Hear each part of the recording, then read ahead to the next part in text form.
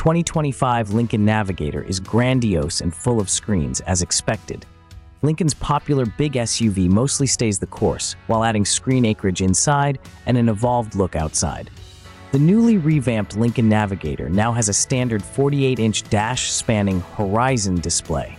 The large luxury SUV also adopts a new drop-down lower tailgate and an upper liftgate with hands-free power operation.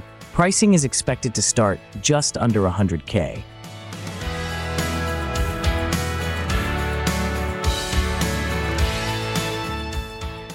with orders opening in mid-October and deliveries in spring 2025.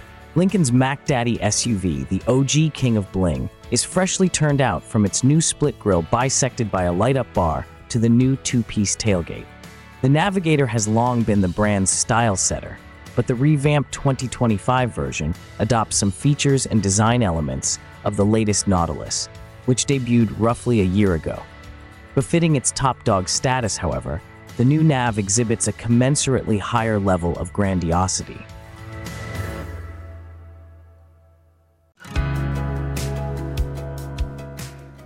Much of the sheet metal is new, including the hood, front fenders, and rear quarters, but the doors are carryover. The biggest departure is at the rear. The cargo area is now accessed via a split tailgate arrangement, a la Range Rover, with a lift-up upper section and a drop-down lower gate. The upper section, or both elements, can be set to automatically open upon approach. The lower section supports up to 500 pounds, and the available seatback insert is perfect for tailgating. Lincoln drops the Navigator's previous Premier trim level, which was chosen by a small percentage of buyers, leaving just the Reserve and Black label.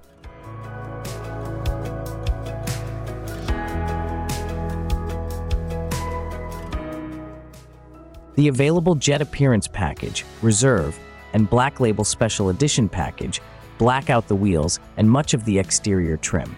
The Black Label offers three color and trim themes Invitation, Enlighten, and Atmospheric. The latter includes copper exterior accents, including on the 24 inch wheels. The base wheels are 22,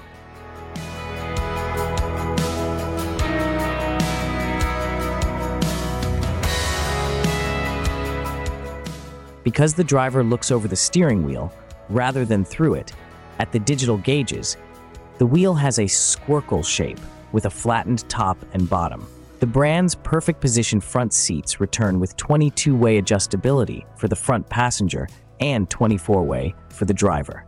The black label ups the driver's chair to 30-way adjustability, adding separate right and left under-thigh extensions and headrest adjustment. For the second row, buyers have a choice of a three-seat bench, captain's chairs with a walk-through center section, or power pitch and slide, individual seats with a center console, heating, ventilation, and massage.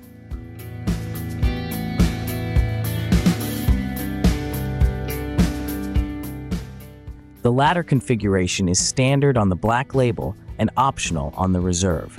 The standard third row hasn't been forgotten, with the power folding three seat bench now split 40 20 40 and offering heated cushions. An expansive glass sunroof is standard, as is a scent diffuser and phone as a key capability.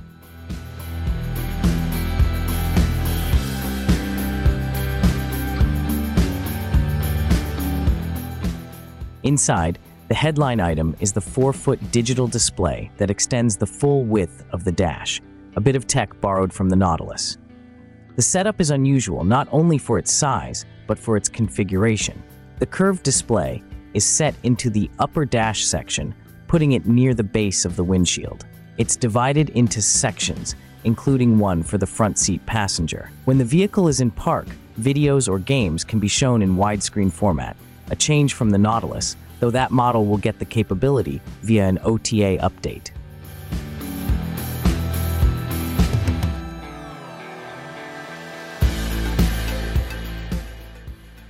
Below the huge curved screen, a flat top lower dash, in a contrasting color, pushes out closer to the occupants, putting the primary touchscreen, a more conventional 11.1 inch vertical display, within reach. Much of the previous physical switchgear on the wide center console has been banished, leaving buttons for gear selection and a large crystal volume knob.